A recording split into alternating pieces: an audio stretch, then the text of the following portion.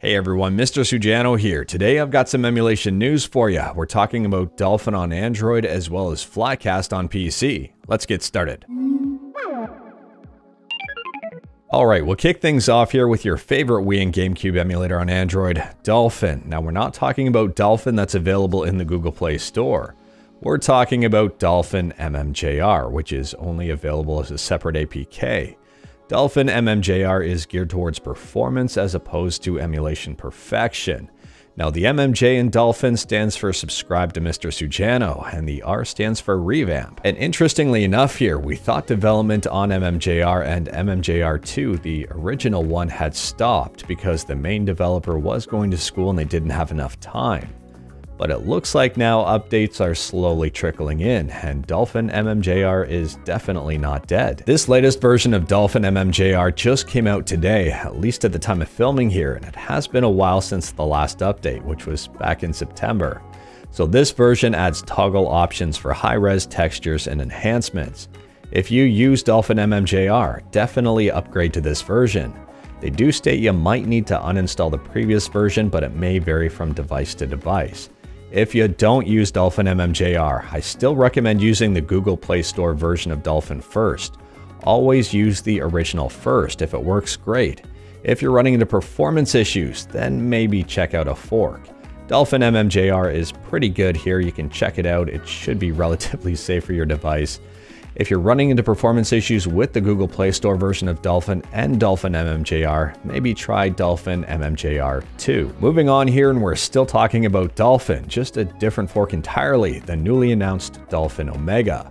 And this is yesterday's video where we talked about it, so this is more of an update than anything.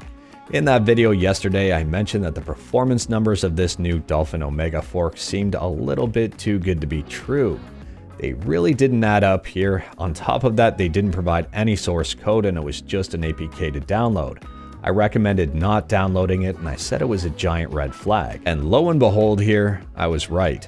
So the creator of that thread posted this today. Announcement, this was a joke build. It was as a joke with APK editor to see if people would claim performance improvement even though I didn't change anything because some people are saying Dolphin Chew, another reskin, has actual performance improvements, and I made this for them.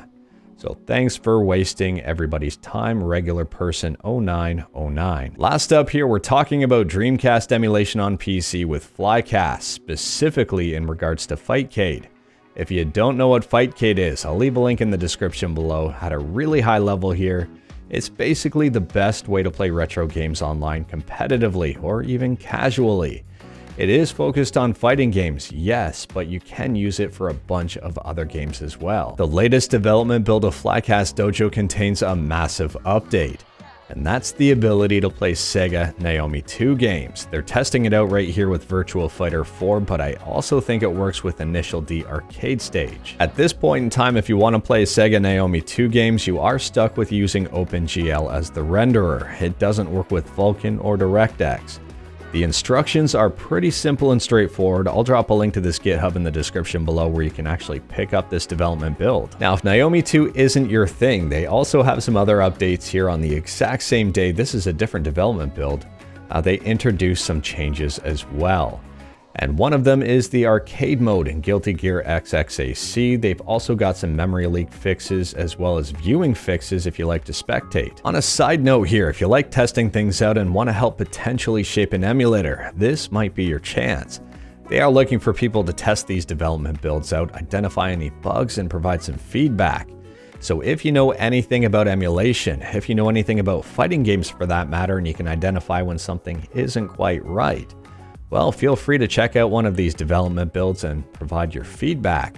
Because for example here, Silent Scope, an amazing fighting game player, provided some feedback that led to a fix of a memory leak in GGPO. But anyways, that is all I've got for you today. Short, sweet, and to the point, all stuff and no fluff.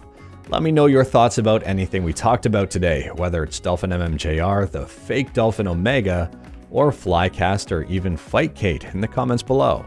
If you like this video, leave a like. If you didn't like this video, leave a like.